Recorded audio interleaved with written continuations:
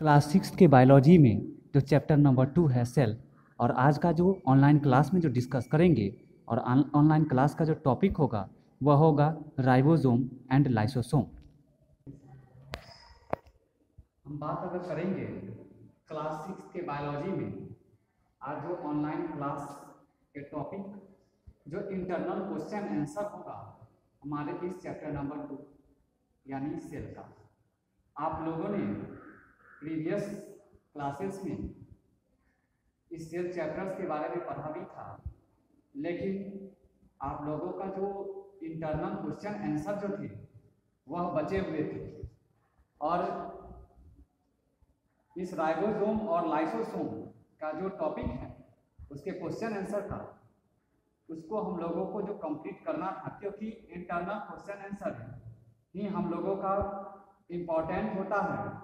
As a basic concept के purpose से अगर हम बात करेंगे राइबोसोम का, सबसे पहले, एक तो आपके इस इंटरनल क्वेश्चन आंसर में फ़र्स्ट आपके पास फ़ायदा क्या होगा कि जिस चीज़ को हम पढ़ाए हैं, दोबारा से अगर इसको हम लिखेंगे तो आपका रिवीजन होगा।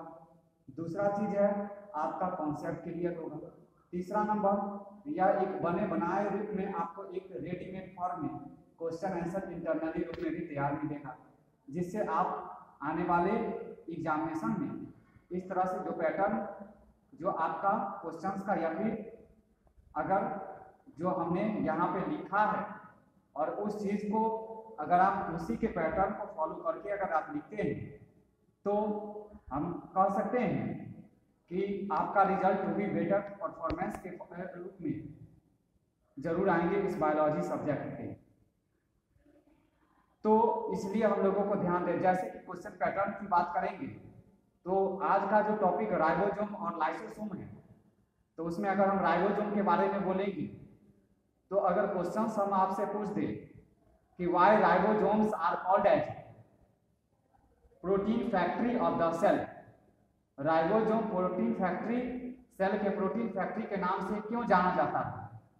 तो एक लाइन में वहाँ पे बोलना है कि ribosome which helps in protein synthesis and due to synthesis of much and more amount of protein ribosomes are called as protein factory of the cell अगर हम बात करेंगे इसी में कि हु वन मार्क्स का क्वेश्चन अगर आपसे पूछ दिया जाए कि हु डिस्कवर्ड राइबोसोम्स तो एक लाइन में बोलेंगे ribosomes was first discovered by Palade in 1950s.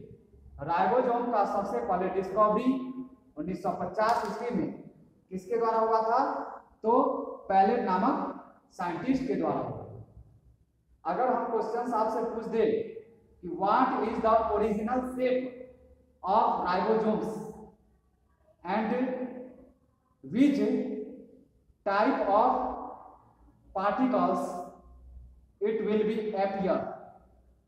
Ribosomes किस शेप में दिखेगा और किस पार्टिकल्स में यह हमारा एपियर्स होंगे, दिखेंगे। तो हम कहेंगे कि राइबोसोम्स जो एस्फेरिकल इन शेप होते हैं, और यह राइबोसोम्स जो ग्रैन्युलर पार्टिकल्स भी होता है।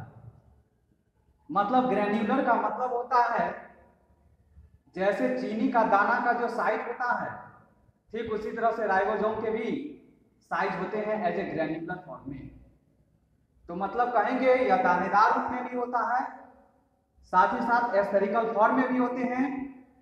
या राइबोसोम जो हमारे अदर सेल ऑर्गेनेल्स के ऊपर प्रेजेंट रहते हैं। जैसे इंडोप्लाज्मिक रेटिकुलम के सरफेस पर यह प्रेजेंट रह के रफ इंडोप्लाज्मिक रेटिकुलम का फॉर्मेशन करने का काम करेंगे। आपसे वन मार्क्स में पूछा जाए कि राइबोसोम का कौन सा टाइप्स प्रोकैरियोट्स में प्रेजेंट रहते हैं?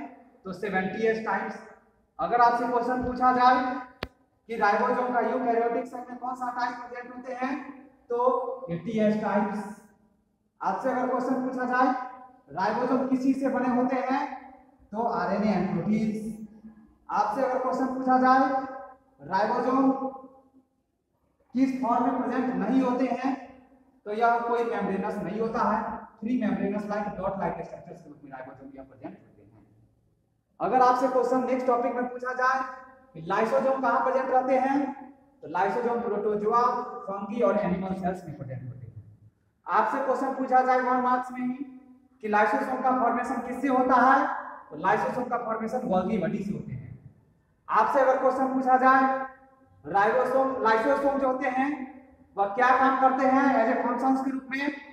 तो यह जो डैमेज सेल्स होते हैं, जो वर्न आउट सेल का होता है डैमेज सेल जो वर्न आउट सेल के नाम से जाने जाते हैं, उसको यह रिमूव करने का काम करता है अगर आपसे पूछा जाए लाइसोसोम डाइजेशन के पर्पस में इन्वॉल्व होते हैं कि नहीं तो कहेंगे या हाइड्रोलाइटिक जैसे डाइजेस्टिव और पावरफुल एंजाइम रखेंगे लाइसोसोम इंट्रासेलुलर डाइजेशन के पर्पस से।